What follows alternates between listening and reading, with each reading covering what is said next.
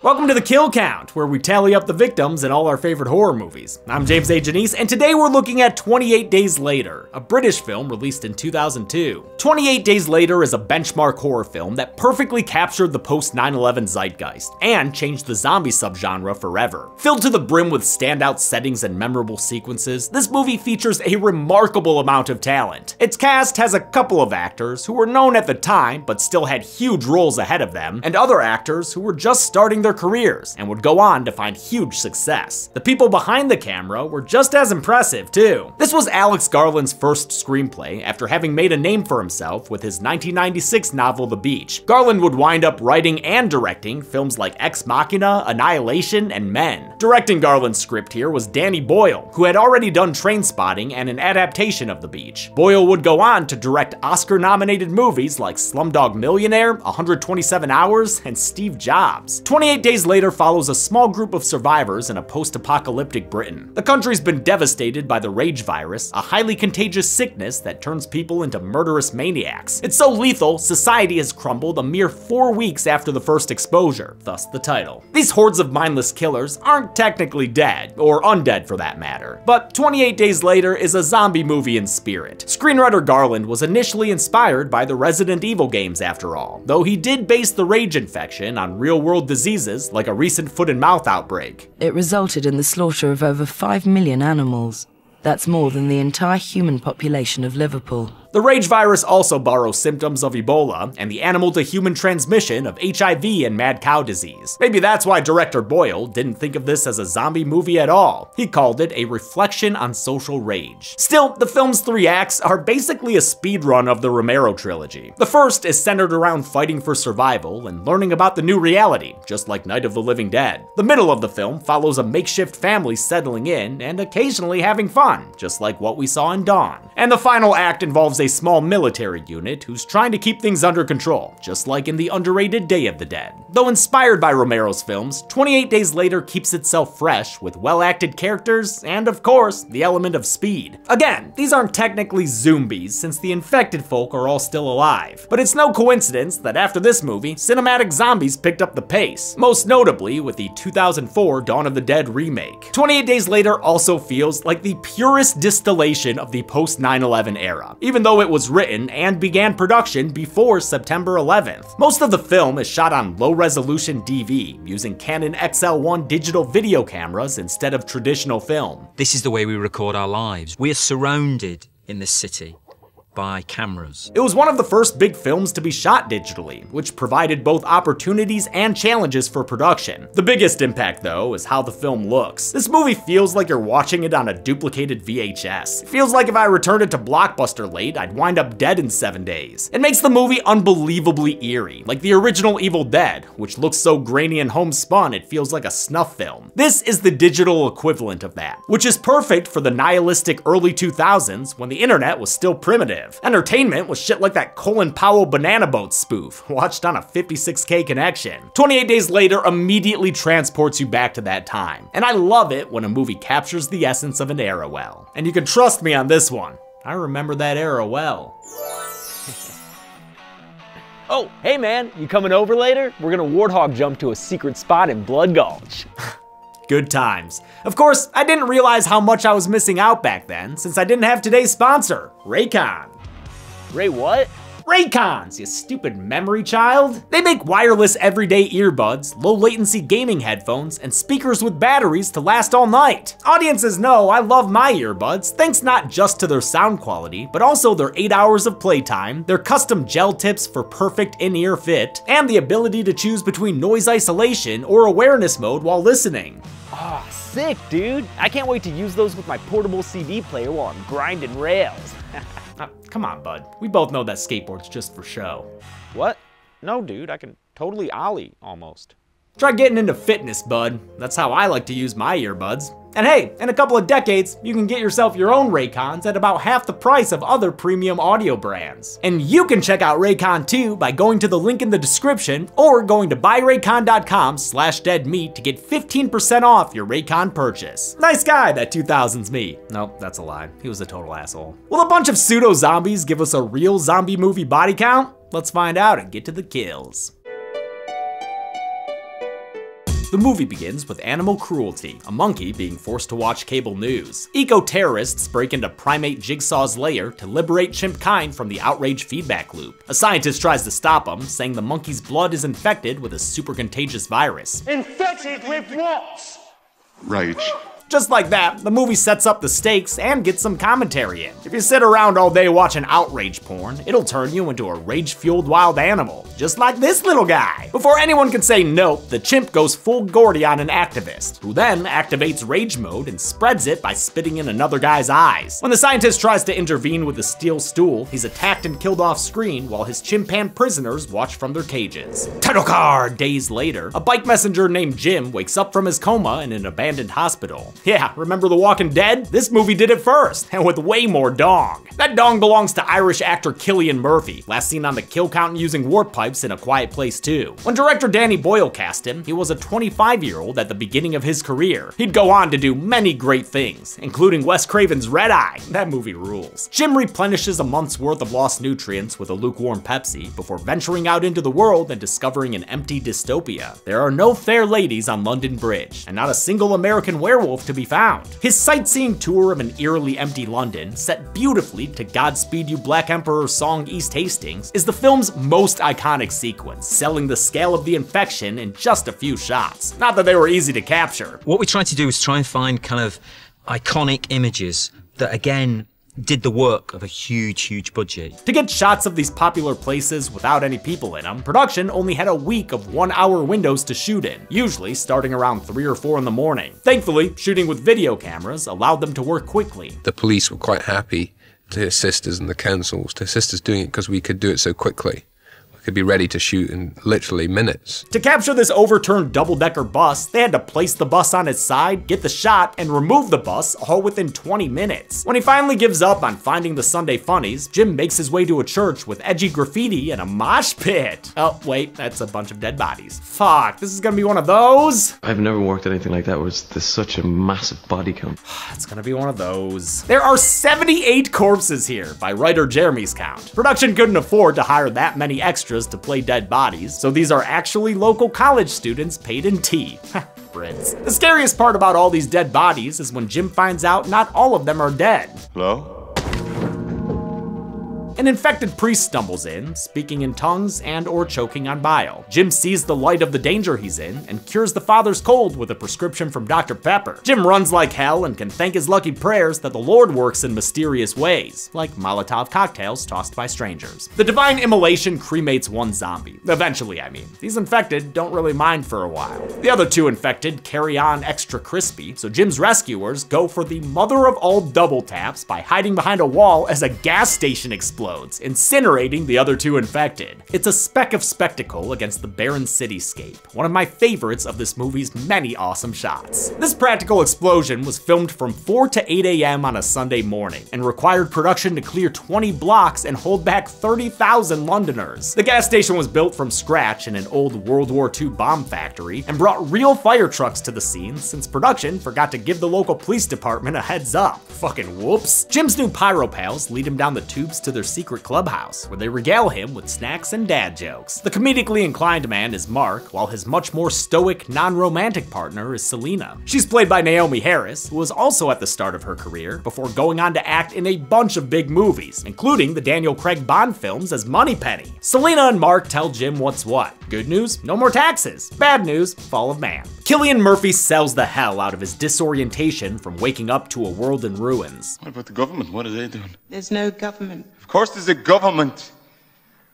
There's always a government. Yeah, especially after the Patriot Act. Jim's first plan of action is to run home to his mommy and daddy. The duo agrees to help him, but only if they abide by the two rules of East End Zombieland. One, only travel in numbers, and two, only travel in the sunshine, never by moonlight. So slap that Mexico filter on and let's go find a dead body. Or your parents, Jim. I'm, I'm sure they're fine. When they get to his parents' house the next day, they find the place smelling like British home cooking. No bangers and mash to be found here though, just a dead mom and dad. Mark sympathizes with Jim and tells the story of his own family's death. They either died during the evacuation or during a traumatic afternoon in the Chuck E. Cheese ball pit. What you could do is climb.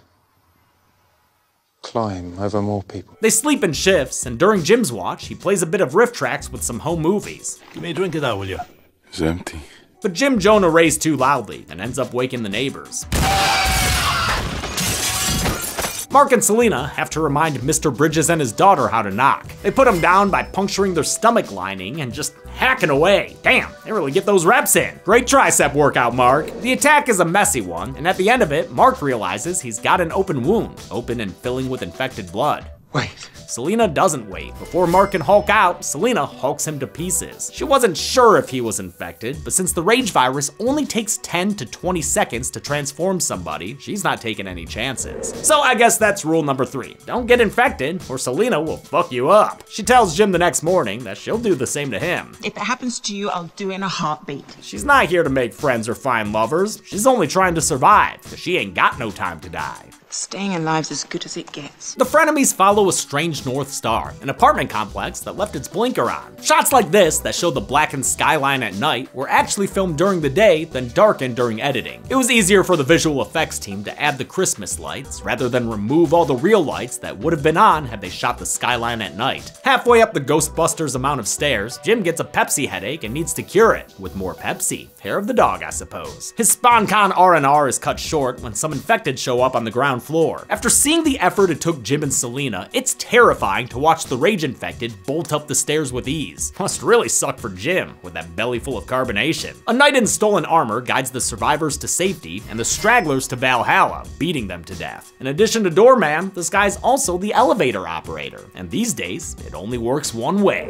Once they get past the tiny bouncer, Jim and Selena officially meet the guard Frank and his daughter Hannah, the father-daughter duo single-handedly keeping the spirit of Christmas alive. The gracious hosts toast to new friendship with their finest bottle of Nickelodeon slime, a 94 if I had to guess. Frank is played by Brendan Gleeson, an established actor, unlike most of the cast. By this point, he had already thrown rocks in Braveheart and watched a crocodile eat a bear in Lake Placid. Most of his earlier roles were often surly, but here, Gleeson brings a lot of heart. He'd combine those traits later as Mad Eye Moody. After Lights Out, Jim freshens up. Careful, man, don't cut that razor on your cheekbones. He tells Selena he wants to help Frank and Hannah since they're good people, but she considers them nothing more than ballast. I'd leave them behind. In a heartbeat. Yeah. Frank knows they're in a rough spot. They've run out of water since it hasn't rained in 10 days. You'd never think it. Needing rain so badly. Not in fucking England. I love this shot of all the empty buckets on the roof, showing how dire things are. At first, the film crew only corralled about a hundred buckets. When Boyle wanted more, they scrounged up a thousand in just a few hours. Probably why some of them are laundry baskets. Without water, their best plan is to follow a sketchy radio broadcast from a military camp. Other survivors, we are soldiers. Since Frank's past his homicidal prime and Hannah is still coming into hers, they ask Selena and Jim for their help. After prodding, Selena reluctantly agrees. The foursome sets off in Frank's taxi on a dad joke and a prayer. Just so you know, I don't take checks or credit cards. Too bad they can't play I Spy as they go. It's always the letter M, and the answer is always more kills to count. This travel sequence has an airy, almost whimsical score courtesy of composer John Murphy, whose work helps make this movie something special. The music may not sound like Goblin, but I think it has the same eclectic spirit to it. Like all dads, Frank knows a shortcut that could get his entire family killed. It's an underground tunnel to get across the river, which like, fuck that, I've read that part of the stand. Didn't work out for this guy anyway, whose body is seen down there. But Frank decides to fuck around like Vin Diesel and find out like Mr. Bean. The over-the-hill driving stops the over-the-hill driver when they blow out a tire on the debris. The survivors rally like a NASCAR pit crew and they'd better hurry since they're racing a swarm of rage-crazed chuds who are quickly advancing. I love this movie's use of shadows and lighting to be terrifying. Team Uninfected wins by a hair and the losers go back to loitering aimlessly. It's great seeing these little glimpses into infected behavior when there's no one around to be pissed at. Whole oh, country looking like a corporate mixer. We're in the fun and games portion of the film, one of my favorite tropes in dystopian movies. It's so fun to see fantasies play out of what you would do if you had the world all to yourself. Screenwriter Alex Garland wrote this shopping montage as a direct homage to Dawn of the Dead. Just like with those mismatched survivors, a little consumer roleplay does their souls good. Single malt, 16 year old, dark, full flavour. Warmer, Not aggressive. Shop smart, shop Budgens. Just past the city limits, the gang pulls over to bully a gas truck. Jim goes inside to see if the roller dogs are still good, but instead, he finds a bunch of corpses, including an infant. Oh, man, forget what I said. Zombie apocalypses aren't fun at all. As Jim reflects on the not fun he's having, the world's lightest boy sneaks up on him. But the boy ain't sneaky enough to steal home plate. Jim batters up and beats the kid to death all the way! Off screen, that is. Ain't gonna show our hero murdering a child. Before anyone can ask Jim why he looks like he just killed a kid, Hannah distracts them with a sick drift. Yeah, feign disapproval all you want, Frank. What'd you expect when she's dressed like Sonya Blade? The road trip continues down the abandoned M1 motorway. Filming this turned out to be just as difficult as the London scenes. There was like windows where you have like, I don't know, three or four minutes to get the shot the traffic is held down down the road. The sequence was shot in its entirety between 7 and 9 a.m. on a Sunday morning, with 10 cameras rolling simultaneously for a whopping minute of footage. Just off screen in these shots is a rolling roadblock guided by the police. The non-Pepsi headaches paid off though. It really does make the entire country seem desolate, but not too desolate to enjoy life's simplest pleasures. Pretty ponies and picnics with peaches, which come in a can. They were put there by a man in a factory downtown. This storybook setting road stop gets Selena feeling philosophical. You'll never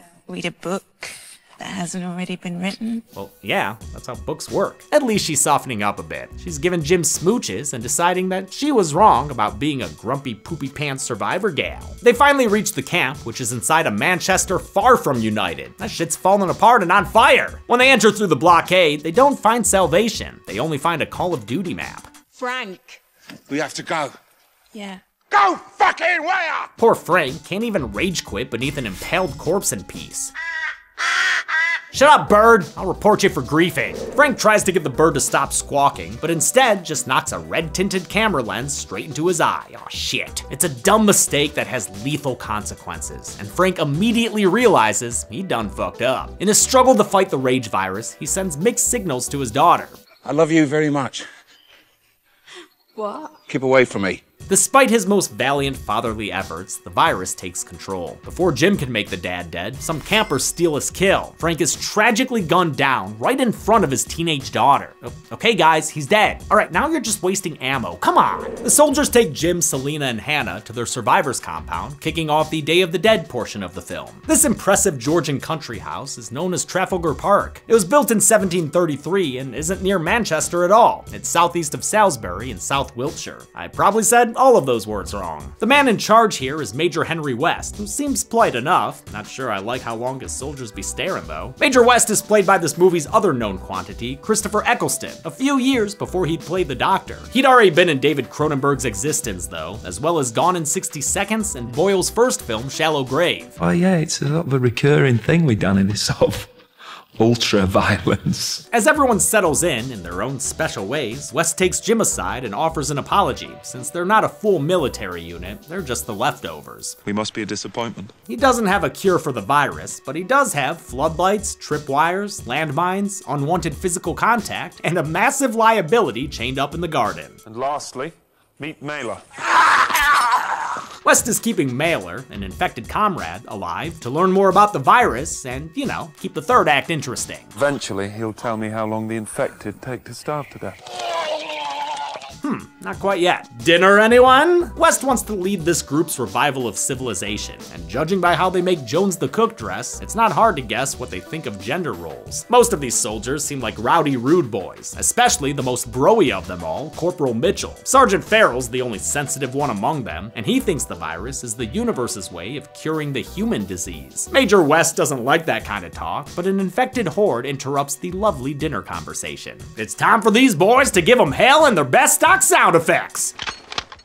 Must be hard to hit these moving targets, because at first, only a few get shooting galleried. Eventually, some dude gets a double kill. Good work, guy, but not to be outdone, one infected goes for a double kill on himself. Ha! Cha, where are you? He's gone and getting straight tens from the judges. And hey, you other 13 infected in the wide shots who died off camera, do better. To prepare for their roles, Eccleston and the actors playing his men had a three day boot camp under a military advisor. I guess they never learned how to keep their eyes and mouths shut for meat showers, but the clear is still given, and everyone revels in how safe they are. Except for the women, that is, since Selena is immediately assaulted by Mitch. Jim and Farrell interfere, and a fight threatens to break out until Major West calms everyone down, but doesn't exactly reprimand the meatheads. Slow down.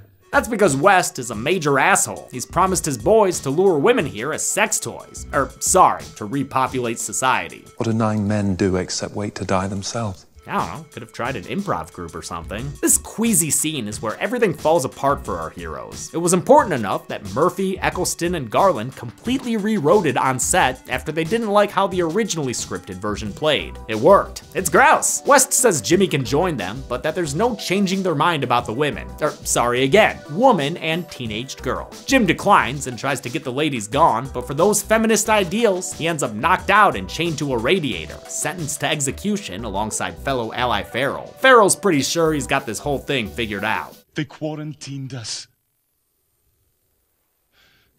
There is no infection, it's just people killing people. He's insane! Well, there's definitely an infection, but he's actually right about the quarantine part, even though that wasn't always the case. When production started, Boyle and Garland agreed the infection had already spread worldwide. It was only partway through that they decided to rein it back and say the rage virus was confined to Great Britain. Jim and Farrell are marched out to the execution part of the woods. There's a big old pile of anonymous corpses there. Talk about a shallow grave. Corporal Mitchell wants to stick the sergeant to make him suffer, but Private Jones hip fires a favor, putting him down quickly with a gunshot. Mitchell is pissed he didn't get to do a war crime, and during the scuffle, Jim excuses himself and his shirt. He makes it all the way to the unprotected area outside the wall, absolutely ruining their defenses. We're fucked.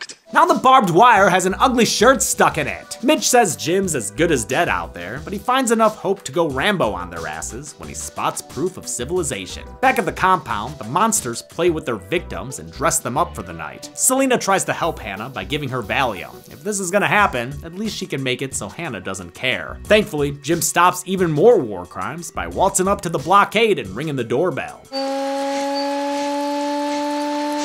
The soldiers postponed their plans to nab the prankster, with West and a few others going back to the blockade. What they didn't count on was Jim learning Batman moves in the past half hour. Now Jim can be Vengeance. Jim can be the Knight. Jim can go all Happy Gilmore with a crowbar on Private Davis. And for whatever reason, Jim can set up Davis's body like he's Michael Myers. Okay, Jim. West hits traffic before he can warn the others, so he honks his 50 caliber horn until the road clears. It's the worst, this traffic. Always when you got somewhere to be. I mean, you might as well just get out and walk. Oh, I was joking. That's a terrible idea. But okay, you do you. Back at the base, Jim lets the party off the chain. Woo boy, y'all about to get mailer. He's a party animal. Selena tries to comfort Hannah, who's looking like the deflated weed girl. Those pills. I think an effect. Hannah's played by Megan Burns in only her second performance ever. After this, she left the business and briefly became a pop star under the name Betty Curse. Though her career didn't wind up like her co-stars, she's still great in this movie. I love her scaring the shit out of the soldiers without even trying. I think they've been killed. Sausage shop! Finally, the party arrives. It's motherfucking Mailer, and y'all know Mailer always at a 10. Ha, there he goes puking again. Now don't call him an Uber, you're doing fine. This place is just getting Mailer. Corporal Mitchell sees that things are falling apart, but still forces the bells back to the ball. Damn man, you can't be this horny, can ya? Private Bedford here thinks he's got everything under control, but too bad the infected Private Clifton is a clever girl. He ambushes Bedford with Mailer for a two-on-one tickle fight. See, Bedford loves getting mailered.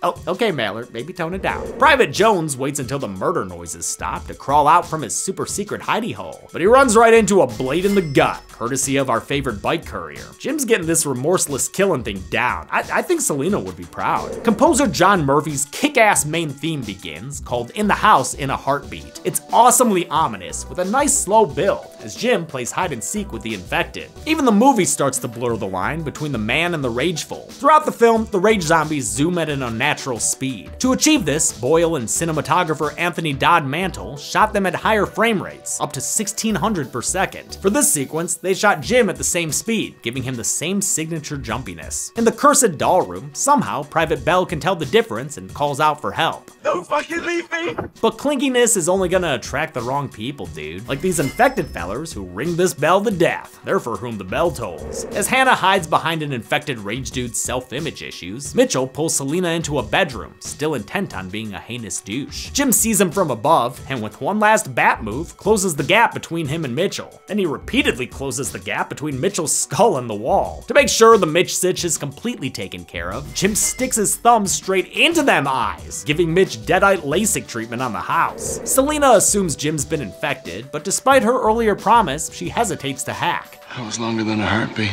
Oh, it was. That's nice. Uh, damn it, Hannah, you're always ruining moments. You and your drugs. The three flee the house to hail the last cab out of hell, only to find out someone else had the same idea. West shoots Jim in the happy trail, so Hannah peels out to avenge his abs. Now, I don't agree with it, but she makes a great case for driving high. Her drifts have never been cleaner. Mailer hears his door dasher coming in hot. Good thing, this party was just starting to die down. And you know Mailer likes to keep it going all night. West dies a poetic death hoisted by his own petard, or ripped to shreds by the rage-infected co-worker he kept on a chain in the backyard. Yep, same death. The survivors leave and yada yada their way to safety with another title car. Wow, didn't know title cards had a BOGO going on. Thanks to Selena's MacGyver surgery, Jim has survived his second near-fatal car crash within like three days of waking up from the last one. At least now he gets to recover in 35mm film instead of on digital video. Since another four weeks have passed, the infected are finally dying of starvation. Like these two. Ha! Almost made it to the end credits, dudes. With the global quarantine having done its job, international forces are now checking in on any surviving Brits. That includes Jim, Selena, and Hannah, who have been shacked up in a cozy cottage. They flag down the pilot with the world's largest handkerchief trick, and the movie ends on an optimistic note for our heroes. How many dead body icons have infected the blank white void of the numbers? Let's find out. Wait, what is that?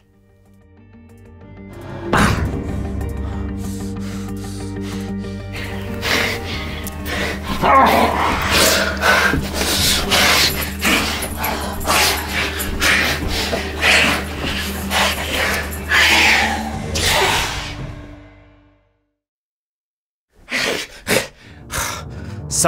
I just hate when stuff gets in my eye. By our count, there were 178 dead people in 28 days later. Of those, 43 were men, 13 were women, and 122 were too blurry to tell, giving us a pie chart as gray as the skies over London. This respectable amount of kills puts 28 days later as the seventh highest kill count on this show. Welcome to the top 10, my British bros! With a runtime of 113 minutes, that left us with a kill on average every 0.63 minutes, or 38 seconds. Man, those mass graves really sneak up on ya. I'll give the golden chainsaw for coolest kill to the double landmine dude. You don't get too many landmine kills in horror movies in the first place, and this guy goes and double dips? Respect. Double machete for lamest kill goes to Private Bedford. Plenty of people got killed off screen, but this is via neck snap sound effect. Show us some bone, Boyle! And that's it. 28 Days Later came out in 2002 and ushered in a new breed of speedy zombies. Its phenomenal success led to a 2007 sequel 28 weeks later. I'll look at that when I can, but right now I've got some stuff going on. Sorry. Until then, I'm James A. Janisse.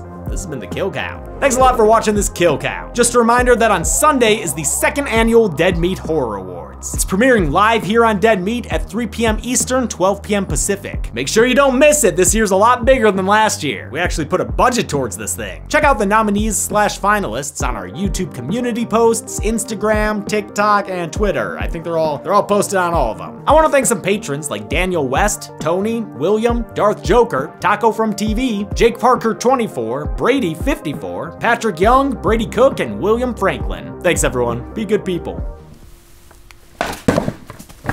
Almost.